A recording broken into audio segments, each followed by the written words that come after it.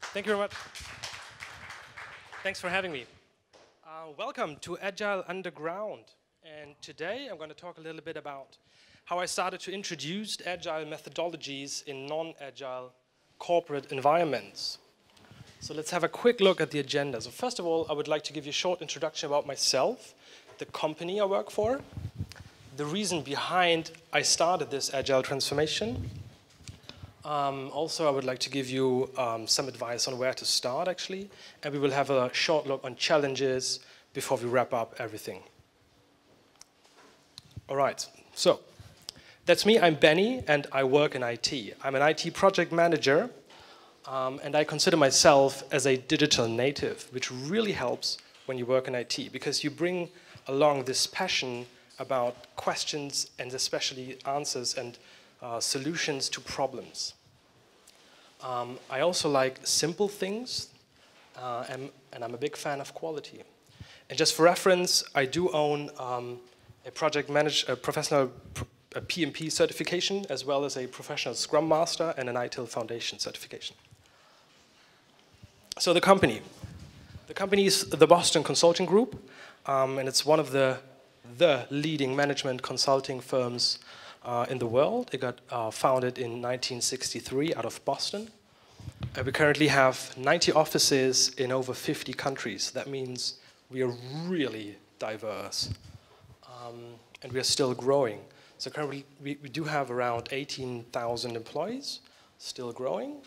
Um, and what we do is basically client casework all around the world.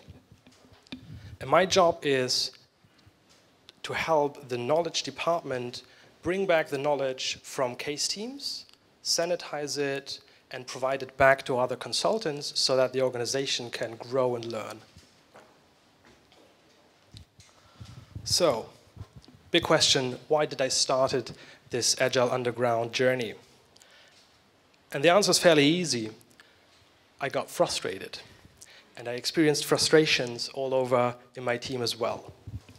So we had slow progress, for example, and that was a bad feeling because um, we had fortnightly calls, uh, like a jour fixe calls, um, in which we talked about all the things that went good, um, and you know we tried to uh, surface the progress. And of course, if you do that uh, every two weeks, it really slows you down. So that was frustrating for myself as well as my team members. We also suffered from late delivery. Um, but the point is, if you, you know, if you commit to a release date two and a half years in advance, the likelihood is very high that you miss that goal. Um, we also experienced sometimes that you went over budget with your project, um, and we experienced inflexible vendors. And my favorite example is that one vendor where we asked to change uh, the font size of a portal, and that vendor basically came back and said, well, sure, we can make the change, uh, but it will take six to eight weeks and it will cost $2,000 a year. And that was, you know, I said, that's enough. So we got rid of the vendor, by the way. So what needs to happen first? And basically, um, it is building trust because you really have to understand your customer because it's a journey where you do not know if it's going to work or not. So you need the trust. And basically, you get the trust by understanding who your customer actually is, what the service or product is, and who the target audience is. And then I started with some simple baby steps. I, I said to the team, well, does it make sense to meet every two weeks for the jour fixe? I basically asked the question a couple of times, and then I introduced the daily stand-up where I asked them, okay, let's meet daily instead, and let's see how that works. And then the team basically said, well, it's a good idea. Let's give it a try. And by doing this every day, meet for 10 to 15 meet, uh, minutes or 12 sometimes, um, you really keep your uh, meetings short and you focus on the most uh, important things. And that got really well received. And I, I surfaced that in the so-called retro, where we basically sat down together every, I would say, four to six weeks for a couple of hours, and we discussed what went good, what went not so good, and where do we actually see room for improvement. And the beauty about retro sessions is that you stick an action item to each topic you talk about. And then in the next retro session, you actually um, see the result from your things you discovered in the first retro. And again, this puts you in the mode where you constantly um, try out new things and learn about it, where you basically say, well, that didn't work out good, but those other topics, we want to keep them. And you can change it constantly. And then I introduced the user story, and that was a big breakthrough because requirements analysis, requirements management was a big problem um, because you get shot with um, requirements left, right, and center by email, by personal calls, or you know whatever. And I basically said, well, let's let's keep focused. So the user story is a very powerful tool to you know capture what you want to do in a product or service. And it's fairly easy because it's as a user, for example, or as a role, I want to do something, something, so that I can, in the brackets, generate business value. And that's very key because with the business value attached to each and every story, it, it's very transparent why are you doing these things and why are you need those things. And then we put those user stories in one single place, in one repository. Hello. um, we put them in one repository, the backlog. And the backlog also is a very powerful tool because it really helps you to keep focused on what is the most important thing um, on your journey and your vision. And it can be as easy as an Excel spreadsheet where you put in all your requirements and um, you shift them across once you change priorities. And all of this helps you to shorten your planning horizon to a minimum of, let's say, a couple of weeks. And I came from, you know, the background where you, uh, where you start to, um, you kick off a project and you plan to do a release in two, two and a half years. So it really, it, you, you will miss um, uh, the release date if you plan that much time ahead. So again, short planning cycles, also known as uh, sprints in Scrum, um, that really keeps you, um, or it, it, really helps you to focus.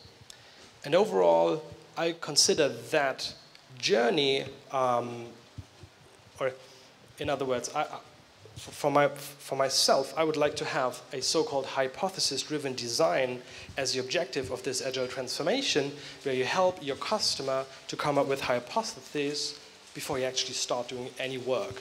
Because an hypothesis can actually be verified or falsified very quickly with an MVP or a short little test. Um, and then you know that your audience, your target audience, is really you know, wanting that you know, functionality or feature. And now let's talk a little bit about challenges.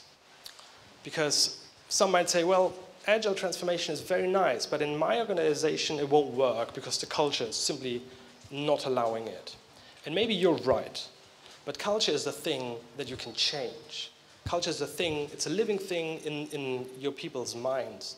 And if you are the first person basically trying to, um, to approach a new uh, thing, then yes, you are the first one. You might fail, but maybe you will influence other peoples by actually um, telling them that, you know, that might work, let's ask again for it. And this is how you change culture. And in our case, that really worked well because I got contacted by our COO who actually, you know, wanted to talk about Agile with me. And I was like, okay, fair enough, let's give him an hour. And then we talked about it. And th that was two, two and a half years ago. And since then, um, we are trying to, you know, get more Agile in, in, in this whole IT organization all around the globe. The next thing is the missing vision. If your product or service does not have a vision, it's frustrating sometimes because you don't know in which direction you should go. And my advice is if there is no vision, come up with your own vision. It's as easy as that. Because then you know that's the direction I want to go, and that helps not only yourself, but also the members in your team. And the last thing is interpretation, because sometimes people tend to have a different understanding by the same terminology. And also, there's a tool called the glossary, which really helps you to write down the terminology actually needed and you know agreed for all the team. And a good example is, for example, the, um, the definition of done, because it really makes a difference if a feature is coded and checked into source control, or if it's actually rolled out to production and tested with proper data that your users are using it. So I got one minute, 48 seconds left. So basically, let's wrap up. So, first advice, know your customer know what is their product and service and know who's their target audience. It really helps you to gain trust. Start small, start with small experiments. As I said, the daily stand-up is a perfect um, thing to do. Just meet every day, try it out if that helps you or not.